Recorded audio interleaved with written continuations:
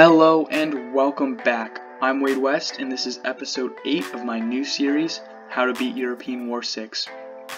In the previous episode, we looked at the Battle of Yorktown. Um, it was the first episode we did not get, or first battle we did not get three stars on, but that's okay. We're going to come back later and get the full three stars. Um, but yes, and so moving forward in today's episode, we're going to do the last battle of the Declaration of Independence campaign. This is the Westward Movement, is the title of this. But before we get into that, we are going to do our next set of upgrading. So, we are going to come over here to the artillery tab and we're going to get defense for artillery here, uh, light artillery and rocket artillery um, HP for artillery here as well, both light artillery and rocket artillery, and our more heavy artillery and siege artillery. Um, and then we're going to come back over to the infantry tab, and we are going to get defense for militia, dominion militia, all these. We're going to get health for them as well. And we are going to get defense and health for um, line infantry as well just so that since we're using them a lot at this stage and it doesn't cost much, we'll just get them that for now. But mostly we're going to focus on, in the future, militia and grenadiers. Those are the two kind of troops that are really good and sort of a good balance of price versus how well they perform. I, I tend to notice that riflemen and militia after, I mean riflemen and line infantry after the early stages become just weak and not good for their price. So that's kind of our plan there. So those are the upgrades we're going to do, and after we've done those, we're going to get right into the battle here. We still haven't gotten any generals yet. We are currently still saving up our medals, but hopefully we'll get some soon. Alright, so I'm probably going to horribly mispronounce his name, but Odon Noju says the growing United States is a big threat to us. We have to find ways to cause conflicts between them and the local Abor Aborigines as so as to find a chance to attack Louisiana. Alright. And Jackson says, Commander, the Spanish and the indigenous people have been harassing Louisiana's border. We need to solve this problem once and for all. Alright, so we have 16 rounds to do this, and it looks like we have to come up and take this city from the British, and this city from the um, indigenous people, and then Dallas from the Spanish. Alright, and it looks like we have sort of the computer controlling some of our allied forces here under Jackson um, from Houston, Texas. And we get control of these. And the general they give us is Brown.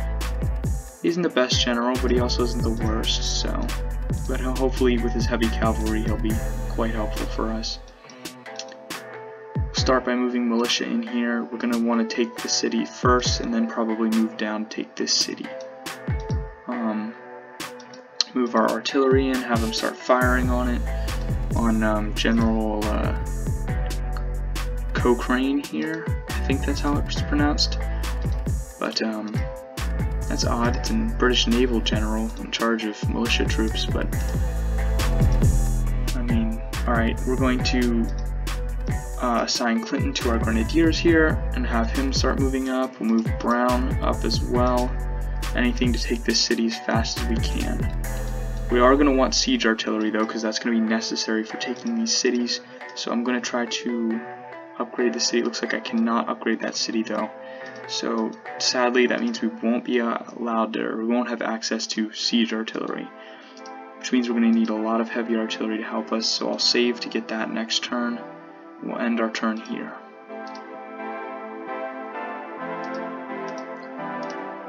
Alright, now we can get that heavy artillery we wanted to help us out continue attacking the city here, try to take it as soon as possible. Try to get rid of these troops around it that would just be harassing our own troops. Um, we'll spawn more militia up here to help us. We want to get rid of this British general too to help us take the city.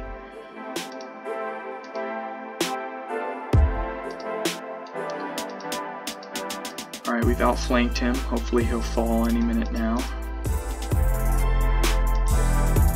We can also outflank the city here, help take it. Move our artillery down a space we can make room for this other new artillery we have. That city should hopefully fall soon. Continue moving our troops in, and then we're going to also want to support here where it looks like Americans are trying to take out or attack this city before the Spanish sort of get too heavily involved.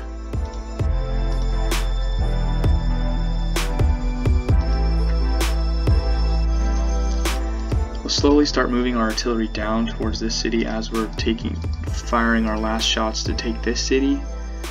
Um, but that's sort of our game plan is moving down we're going to immediately want to hit now that we've hit this city pretty hard we're going to immediately want to slam into this city and take it as soon as possible.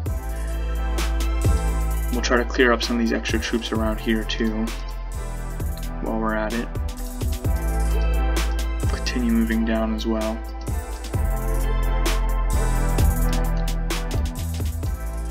Alright, looks like the Americans here, our allies, are trying to attack the city, but they're also trying to mount a defense over here, and this city looks like it's going to fall soon, so we might have to help them out, but it might just be a casualty and if we have to focus more on this city.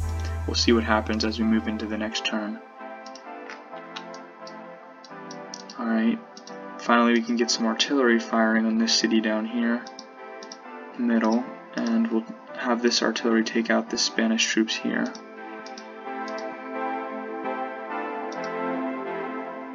Move Brown over here, outflank these cavalry, take them out now that they're out of the way. Continue moving troops down and in. And I'm going to get even more artillery, this time light artillery, because it has a little bit better mobility and it costs less. we'll keep that all moving towards this city. I'm actually hoping this city up here will just hold off the Spanish long enough for us to take the middle city, and then even though that city will fall, it will distract the Spanish while we move in to help take Dallas. And hopefully if I can get my artillery in here, we can take this city this turn as well. Looks like we'll be able to do that. Um, Alright, good. We Brown is taking this city now, but it looks like taking that city spawned a whole nother set of uh, enemy troops here, cavalry, infantry, and artillery, which is going to be a problem for this city, but we should hopefully be able to hold it with just militia. Um, and I'll just kind of move our militia up here and start trying to take them out, but I'll leave this militia here to defend the city. And then hopefully we'll begin moving down right towards Dallas swiftly and aggressively, and we still have our General Brown open, General Clinton, and our ally General Jackson, so and his artillery, so hopefully with all our forces we can sweep in and take Dallas as soon as possible.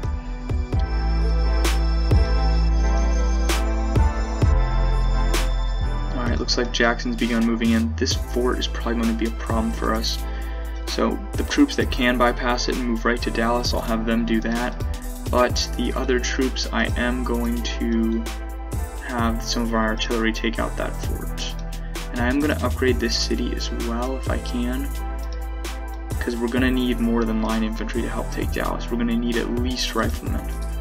But I will spawn in some line infantry just to hold this city while we're waiting and saving up for more riflemen. And I'll have my artillery again, if they're in range, try to help defend the city by taking out some, the, uh, some of the enemy troops that are pressuring it. I'll leave these militia here to defend the city, and I won't attack with them now because I want to have them save as much health as they can. Alright.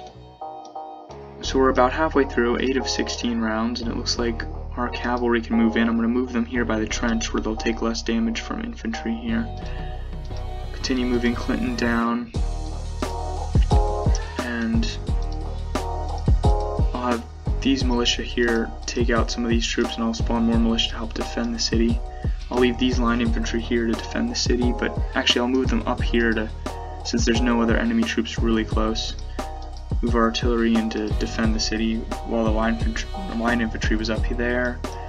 And I will move this artillery down to start sieging this fort continue moving this artillery in to help us, and we'll just, you know, continue moving everything towards Dallas as quickly as we can here.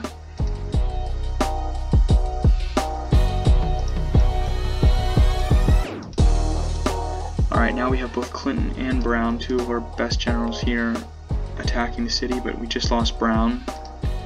Um, so we're going to need more troops in here to help support relatively quickly.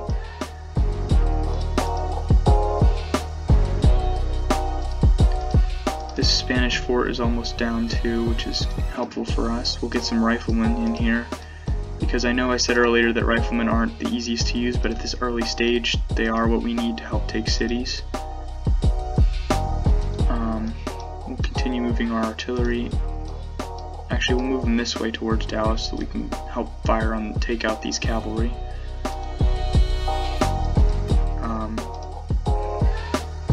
So it's looking pretty good for us for now. We're holding the city uh, relatively easily, and this city as well. Hopefully move more troops towards Dallas, though. Because we're about to lose Clinton down here, and, um, yeah, we just lost him, and this city still has a lot of health, so we will struggle to hold it.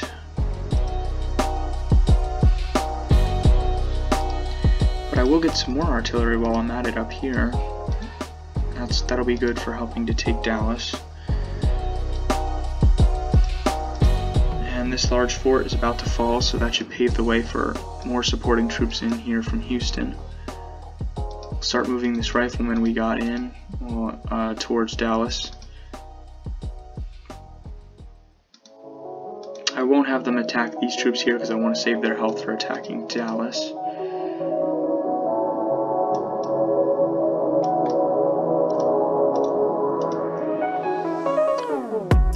And it looks like their enemy Spanish general has moved out of Dallas, um, which is good news for us because hopefully Dallas will be easier to take, though it is defended by grenadiers, which are pretty tough.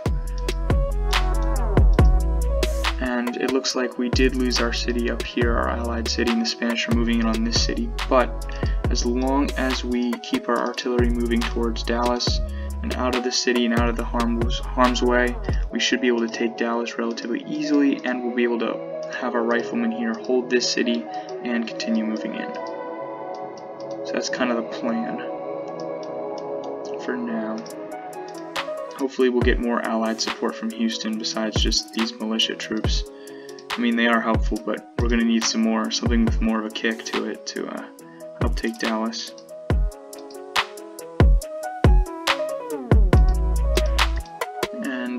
Artillery is pretty slow here at this level and stage, but we're continually moving it in. We're going to actually outflank the city here, lower their morale, keep sieging it. Move riflemen up here to sort of hold off these guys, get more riflemen to defend the city.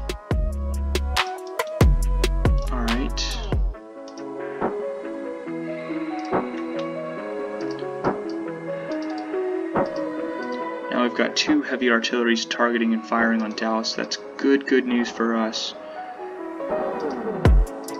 We're going to want that as much as possible here, as many artillery shots as we can get on the city. Um, and we'll continue moving troops down when we can as well.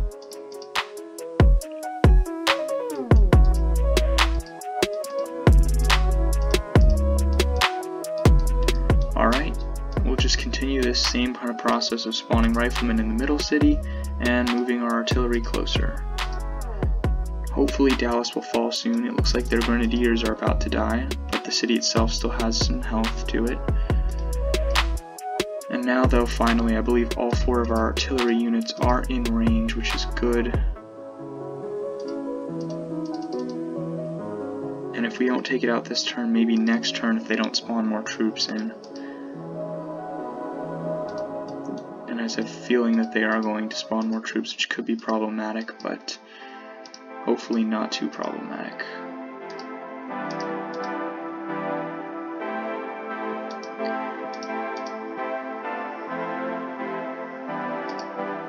Alrighty, we're continuing the siege.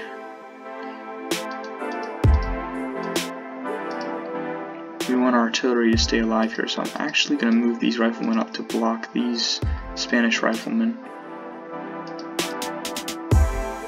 But I'll continue our attack.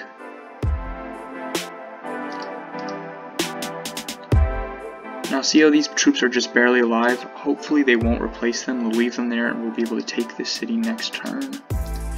We're going to need to spawn some militia up here to hold this city.